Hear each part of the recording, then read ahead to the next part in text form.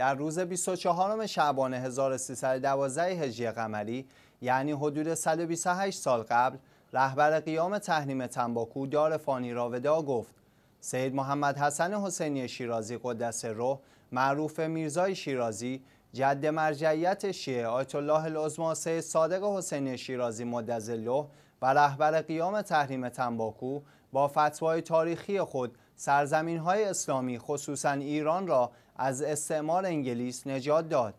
آیت الله العظما سید محمد حسن حسینی شیرازی فرزند میرزا محمود در 15 جمادی الاول سال 1230 هجری قمری در خانواده اهل علم و تقوا دیده به جهان گشود.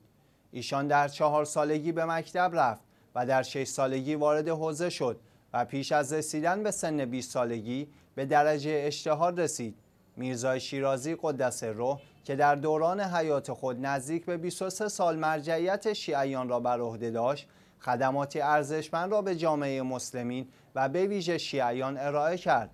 این عالم بزرگ به تربیت شاگردانی ممتاز همت گماش که از جمله آنها می‌توان به میرزا محمد تقی شیرازی معروف میرزای دوم شیخ عبدالکریم حائری مؤسس حوزه علمی شهر مقدس قم میرزا حسن ناینی شیخ فضلالله نوری آخوند ملا محمد کاظم خراسانی و سید محمد کاظم یزدی صاحب عروت الوسقا اشاره کرد.